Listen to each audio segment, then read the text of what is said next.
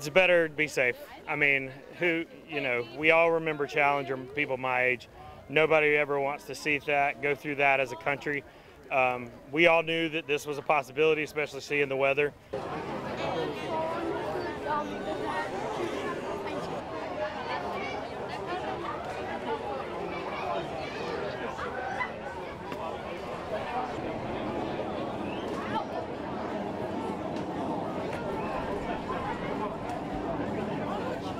I love to see us launching our men back into space. You know, it's, it's great.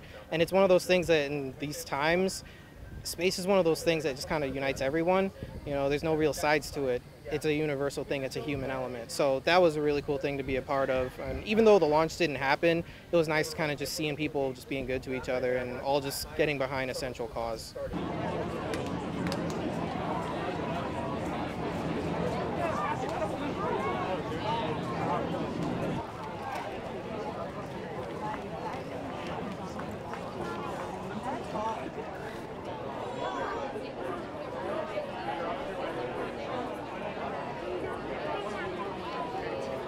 I remember uh, growing up watching, you know, Challenger. Um, I remember being in school watching it. Um, I think I'm, I'm with Elon. It's one of the most exciting things that's happened to kids to be able to look up to and to, to go for and, and, and to dream of.